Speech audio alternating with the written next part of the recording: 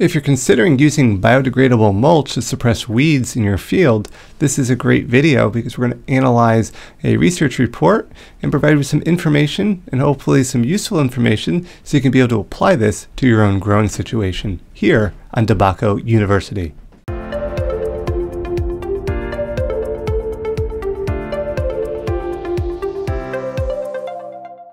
All right, let's get into biodegradable mulch for weed suppression study related to cannabis production. So first off, this is the research article. Uh, so you're welcome again, take a look at it here, look at it for yourself, look at some of the details. I'm just going to provide a summary. So first off, what was the study objective? Well, to, the study objective was to evaluate the effectiveness of several biodegradable mulches on weed control and yield of processing tomatoes in different areas of Spain. The goal was to find an alternative to standard black polyethylene mulch in order to reduce the waste problem that is generated from that product. This study investigated a field trial at four locations in Spain over three years. It was a randomized complete block design with at least three replicates of nine treatments. So the tomatoes uh, being studied, since a long-term study regarding cannabis of this type does not exist, in this example, tomatoes are being used as a crop of comparison. At the end of the study review, based on the results, uh, specific recommendations for cannabis uh, production will be provided. So again, even though this study was done for tomatoes, they have their own specialties. We're going to try to relate this to cannabis.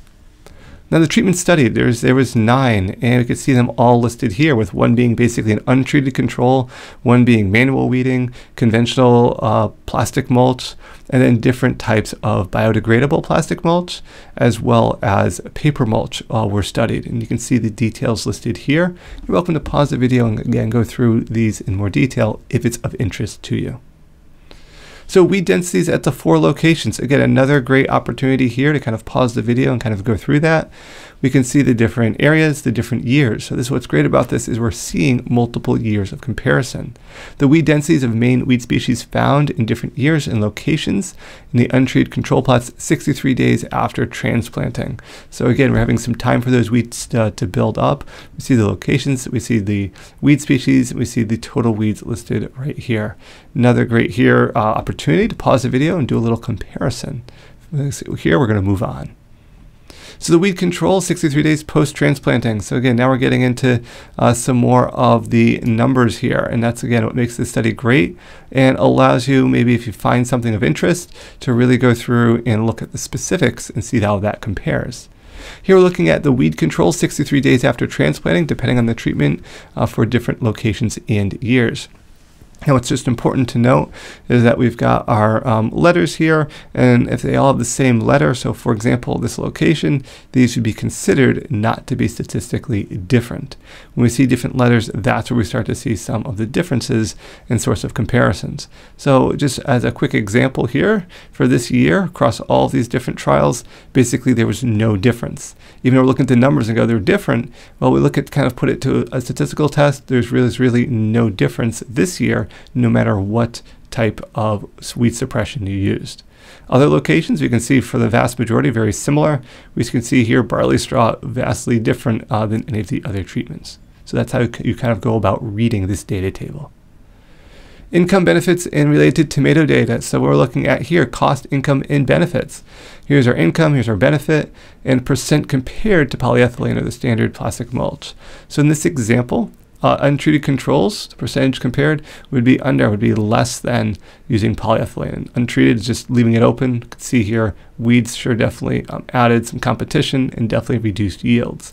Others we can see the polyethylene was kind of that source of comparison, 100%, and we can see everything else uh, was of course better than the untreated control, but didn't quite meet the levels of polyethylene here for comparison. Now, we look at the category comparison, so biodegradable plastics can be an alternative to polyethylene due to the overall good weed control and high, in this case, tomato yield. Paper mulches do not perform as well overall, but are more and are more difficult to apply and avoid um, fracturing. However, these are the only products that control nut sedge emergence.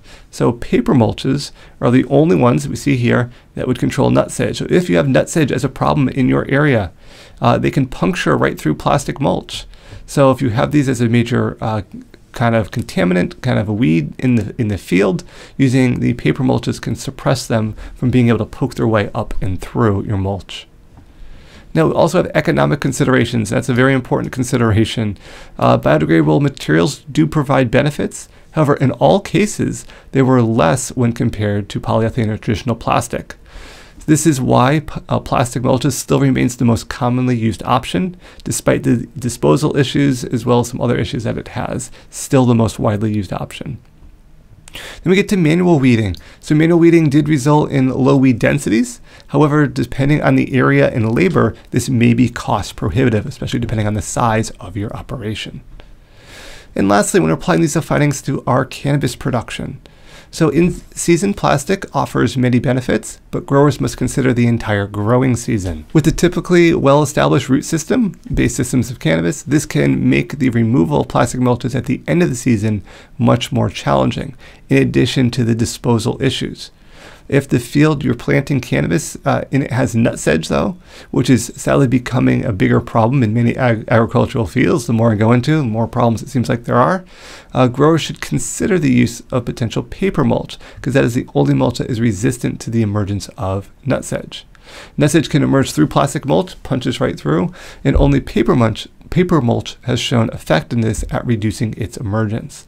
So this is where knowing your field can be also be important to know that, hey, there's a lot of nut sedge in this field. Maybe I would consider the use of a paper mulch over a plastic mulch. But as you can see, plastic still regarded as the number one use because of its benefits. But you want to look at this data and see which one might fit your situation the best.